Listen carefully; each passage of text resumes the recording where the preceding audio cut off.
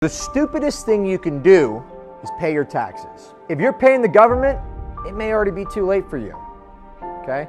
Now, I have an actor outside this door, and he's going to pretend to be the tax man. I want everyone to watch how I use the du Pont approach to turn the tables on him. Okay? It's the IRS. You owe the government $37 million.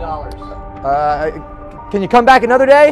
Nope, they're, they're due today. Uh, no, no hablo español. Always open Burn everything.